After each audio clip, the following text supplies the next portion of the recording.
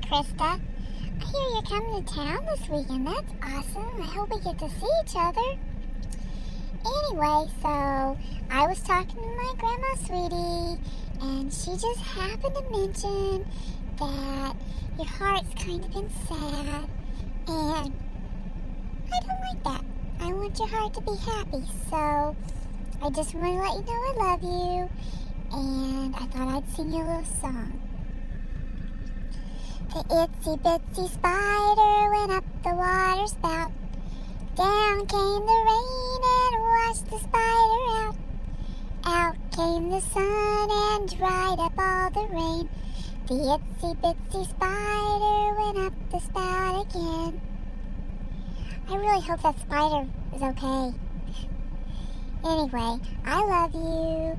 Sending you a smile. Make your heart feel better. Hopefully I'll be seeing you on Saturday. Bye.